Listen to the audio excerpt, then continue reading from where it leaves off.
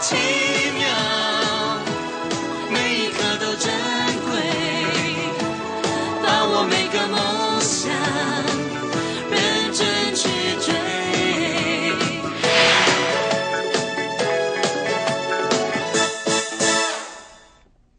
呃，我们讨论房贷或者辛苦买房子，呃，不外乎是可以希望可以幸福养老。呃，不要到老的时候呢，还到处要租房子或者没地方住。呃，那幸福养老有非常多的方法，其中有一大套的方法就是保险。那我要推荐给你的是《幸福养老靠保险》这个特刊，您在各大书局或现在保险咨询网都可以看得到。呃，特别是其中呢，告诉您说，如果您要为幸福养老做准备的话，有哪些保险，你应该重新检视一下你目前的状况，看看哪一些是目前应该补上去的。哈，那相信对你的这个养老生活的规划有非常大的帮助。那我们后来继续讨论刚刚我们在讨论的话题哈。呃，当呃，慧静刚刚提到房贷寿险，房贷寿险现在呢，呃，也是一个很热的话题，因为主管机关盯得很紧，呃，可能跟过去的做法有非常大的不同哈。那我我们是不是让我们观众大概了解一下，呃，房贷寿险的状况？OK，呃，像一般民众如果是跟这个银行办理房贷的话，银行为了要确保他的债权哦，所以呃，他通常啊会要求这个嗯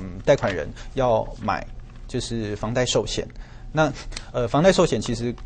基本上它就是一种定期寿险，那它的那个期间多长，就是你贷款多长，贷款期间多长，你的房贷寿险的那个保障期间大概就是差不多就是那个那么长这样子。但是呃，必须要注意的是说，呃，针对房贷寿险这个部分呢、其实呃，因为之前有衍生一些这个争议，因为就是呃，就目前的房贷寿险机制是说，你要保人是银行来当。保单的要保人，嗯、但是然后被保险人呢是这个贷款人本人，嘿，那呃，但是保费是谁缴的呢？保费是 也是贷款人，保费当然是贷款人缴的，从头到尾都是贷款人，贷款人缴保费，然后贷款人呃，但是这张只有受益人是银行，这样吗？要保人是银行，受益人第一顺位受益人也是银行，嗯、对，所以这个部分的话，其实呃最近。主管机关呢、就是有做一些嗯法令上，呃，应该说有做一些规定上的修正。那到底有哪些新的规定呢？就请各位观众朋友看一下这张啊、字卡。呃，现在应该说，如果说现在要买这个要办这个房贷寿险的话，就是主管机关有规定哦。第一个就是说，你要保人跟被保险人都通通都要是你贷款人本人。好，那。这么做的目的是为了要避免，就是我刚才所讲的，就是说你呃缴保费的是贷款人，可是呢，就是要保人挂的却是银行。对，因为我们对要保人定义是缴保费那个人，对不对？对，那你要保人另外还有很多的权益啊，我要就是变更受益人啊，解除保险契约啊，或者是有很多的这种呃相关的权益，其实是都是你要保人的。可是如果你把它设定为银行的话，那我我我贷款人我通通都不能做变更，其实这个也是不合理的。嗯、那再来呢，就是呃第二个新的规定就是说在，呃房贷寿险不可以作为贷款的这个搭售的条件。嗯、那这个其实就是说，因为很多的银行哦，他们会要求就是说，呃，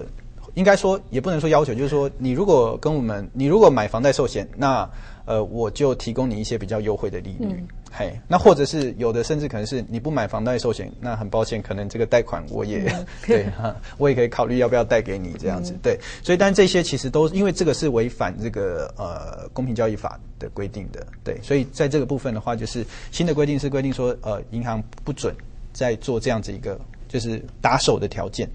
再来就是说，呃，提供你房贷寿险要提供这个起缴型的商品。要减轻民众的保费负担，因为现在大部分的房贷寿险都是趸缴型的。那这么做的话，是因为银行也想省去麻烦。第一个可以省去麻烦，第二个银行也可以赚那个呃手续费啦。那呃，但是其实事实上，房贷寿险是有这种起缴型，就是我每年缴费的，一年一年缴保费的哈这种商品。所以尽管会规定说，你银行业者必须要提供这样的商品给贷款户。那最后一个就是在呃。受益人的部分，那呃，你不可以限定，就是不可以限定你这个银行为第一顺位受益人。那但是如果今天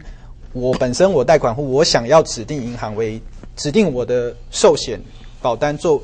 就是指定银行为第一顺位受益人是 OK 的，我只要签一个批注条款就可以了。嗯对。嗯那慧晶，你当时投保的时候，条件都跟刚刚主编讲的一样吗？对，要不然也是银行，对，第一收收益人也是他，没错嗯那也是趸缴。对，也是趸缴，而且呢，我是被呃，就是我的代书要求的。啊对，那时候他为了帮我争取较好的一个贷款利率的时候，他跟我说啊，有一个方法啊，你帮那个、就是跟银行买一张保单。嗯哼。对，那时候我想想好像也 OK，但是就陈如主编刚刚提到，他说其实一个人呃，就是平均呃，就是还款年限呢、大概是在七年、啊房贷的部分，所以说其实我算是不足额承保啦。我的自己的那个房贷寿险我只买了十年，我希望我可以在这十年之内把我的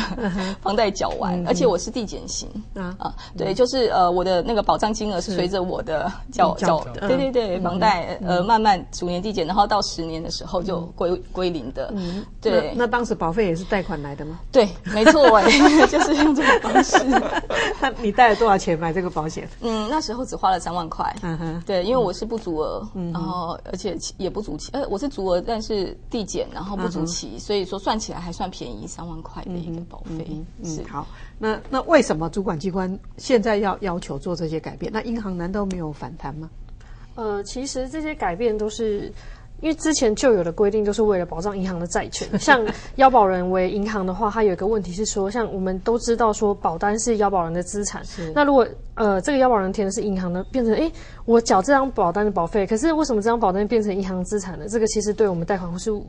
呃对我们的贷款户是比较不公平的部分呢。那还有一个部分是说，他要求呃这个受益人必须第一顺位是银行，可是有时候我们可能这个。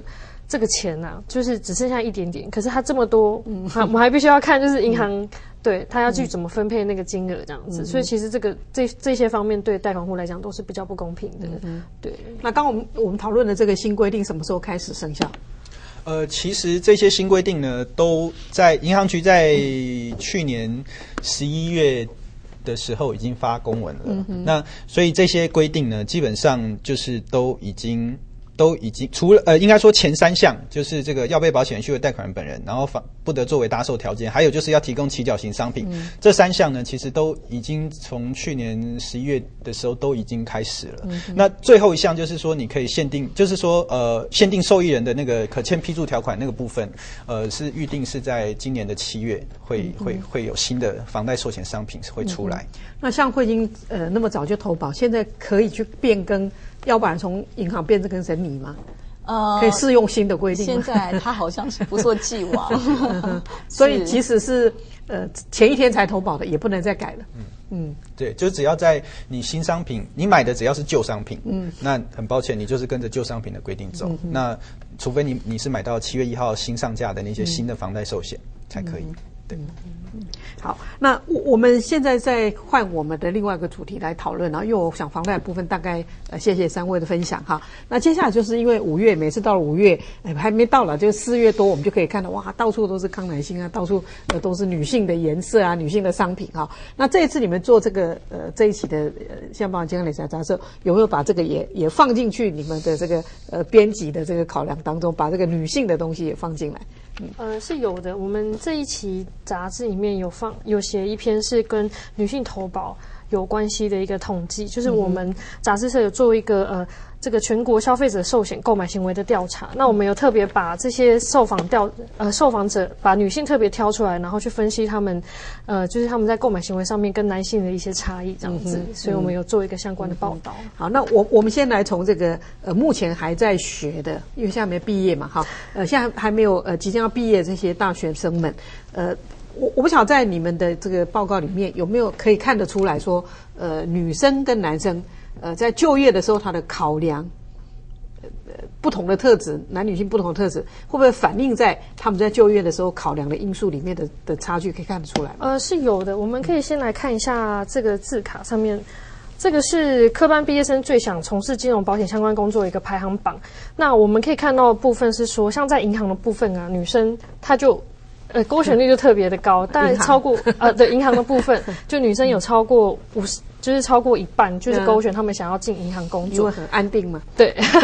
就是这个，因为这个工作是比较呃，我们比较稳定嘛，还可以然后核核发贷款，啊。对 对对，就是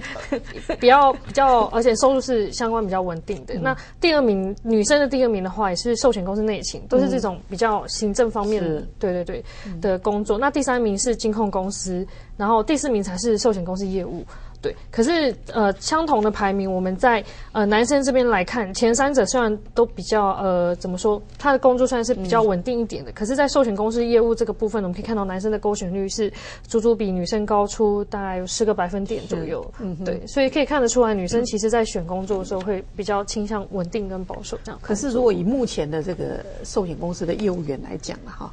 男的多还是女的多？女生多，女生的业务所以男的想做的比较多，可是实际上对进去的是女生比较多。对对对嗯，其实这个部分的话，我觉得有一个原因，因为女生她一旦开始做保险的时候，她比较容易，我我自己认为啊，比较容易放下身段。嗯，对她，对，因为对，然后这个部分是你的意思我比较不会阵亡的意思吗？呃，对，脱退率比较低一点点这样子。对对对，主编，你同意吗？呃，其实我觉得女性在做保险，尤其是在做业务这一块的话，它本身的确有它的优势存在。对，那所以的确它的脱落率会会是比较比男生低。好，那我们休息完了再来看一下，那女性朋友最喜欢买什么东西呢？如果您是业务员，这一段你一定要好生听着，我们下回有聊回来。